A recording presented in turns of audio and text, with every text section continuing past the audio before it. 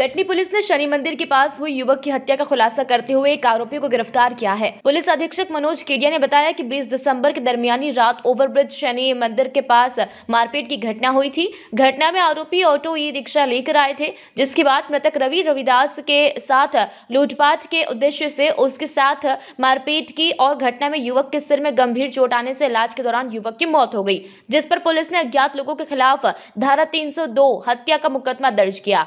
Police को घटनास्थल के पास लगे सीसीटीवी फुटेज और कंट्रोल रूम में लगे कैमरा का निरीक्षण करने पर दो लड़के घटना के समय घटनास्थल के आसपास लाल रंग के ई रिक्शा से जाते हुए दिखाई दिए, जिसके बाद सीसीटीवी फुटेज में देखे ऑटो एवं आरोपियों के होलिये के आधार पर पूछताछ करने पर मोनू बर्मन और एक और आरोपी की घटना में शामिल होने के बारे में जानकारी लगी। पुलिस ने मोनू बर्मन को बैलेट घाट से पकड़कर पूछताछ की, जिसने हत्या की वारदात को करना स्वीकारा और पुलिस को आरोपी ने बताया कि उसका साथी जो बाहर काम करता था, उसे काम के लिए वापस जाना था और उसके पास किराए के लिए पैसे नहीं थे, जिस पर दोनों ने मिलकर योजना बनाते हुए घटना को अंजाम दिया। अब पुलिस अन्य आरोपी की तलाश में जुट गई है।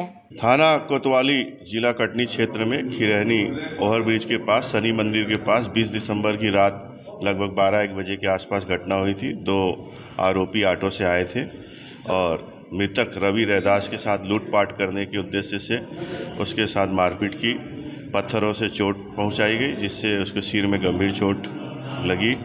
शुरुआत में जो रिपोर्ट आई, उस पर थाना कोतवाली में मारपीट का मुकदमा पंजीबद्ध किया गया। इलाज के दौरान उसकी मृत्यु होने पर धारा 302 बढ़ाई गई और एसपी साहब द्वारा विभिन्न टीमें गठित की गई है और टीमों के द्वारा लगातार इसमें सफलता प्राप्त की गई। और एक आरोपी, मोनू बर्मन को अभी गिरफ़्तार किया गया है। घटना में प्रयुक्त ऑटो भी हमने अभी जब्त किया है।